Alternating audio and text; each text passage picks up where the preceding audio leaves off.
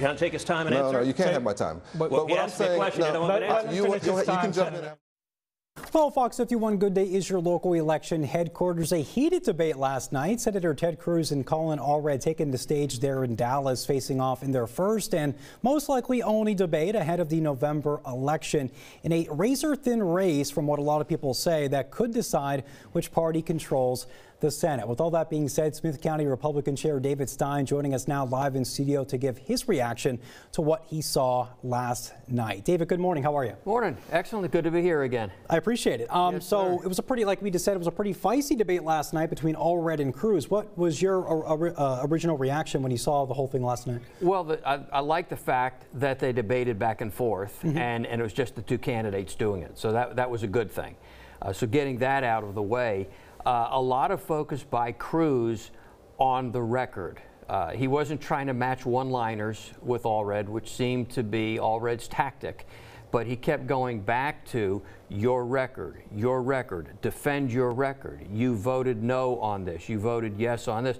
Defend that, and Allred never did.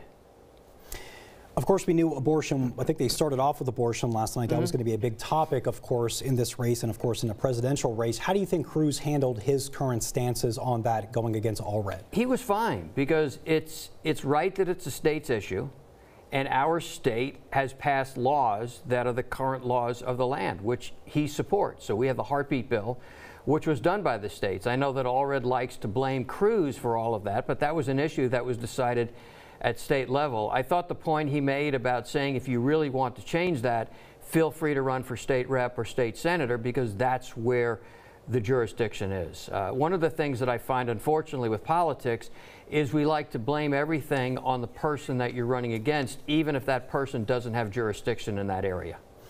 And uh, of course, Allred spoke on his past immigration stances. As he said in the debate last night, Cruz has been mischaracterizing his record on that. What was your kind of takeaways from that? Well, the mischaracterization is based on the actual votes. So I don't know how you can mischaracterize what a vote says. If, if your vote is yes, it's yes. If it's no, that it's no. So I'm not sure what Allred really was trying to refer to at that particular point. But I go back to, again, What's his record? How, how, did you vote on this particular thing? It's like the, the, the men in, in girls' sports or the boys in girls' sports. He said on the air last night he doesn't support it, but he doesn't vote that way. And as he likes to say, that's all hat and no cattle. And Cruz has regularly compared uh, Allred to Kamala Harris for similar stances on a lot mm -hmm. of mm-hmm. things. Is that is that true? Do you think that's the case? Again, voting record. Yeah. I may sound like a broken record, just like Ted Cruz did last night. But it's what do you do when, when the when the chips are on the table? How is it that you vote? He has voted with Nancy Pelosi 100% of the time. So you can portray yourself as a moderate but your actions speak louder than your words. And that to me is the issue with him. He's trying to come across like I'm like everybody else. You know, I grew up in a middle class family. I went to school. I made something of myself. And that's a great story, similar to Ted Cruz and his immigration story through his dad. But still, when it comes down, is you can tell me all about what you're going to do, but show me in your actions. And his actions have shown he is 100% aligned with the Democrat Party. We talk about the problems that we are experiencing today as a nation the economy, the border, rising crime. His votes are part of contributing to that. So if he is if he is set on fixing those problems, why has he continuously voted for policies that don't do anything to fix those problems? And quickly, David, uh, my final question before we go to weather here. How do you see this race shaking out? Because we know apparently it's a tight one. I still think it's close. Mm -hmm. I, I still think, I think in the end, I do think that Ted Cruz will prevail because this is a center right state.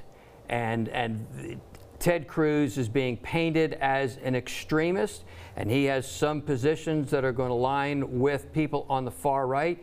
He has also authored much, much legislation that supports Texas infrastructure, expanding trade, opening up ports, opening up roadways, expanding roadways so that better trade can take place, supporting Texas businesses. All right, thank you, David. We always appreciate when you come in and My join pleasure. us here. Thank you. On Fox 51 Good Day. Thank you so much. And uh, just a reminder to our viewers this morning in the 8 o'clock hour of Fox 51 Good Day, Smith County Democratic uh, Deputy Chair Cam Ray will be joining us live in studio as well to give us her takes and reaction to what she saw from last night's debate. We'll have both of these interviews posted on our website. So in case you missed it, you'll be able to check it out over on our website.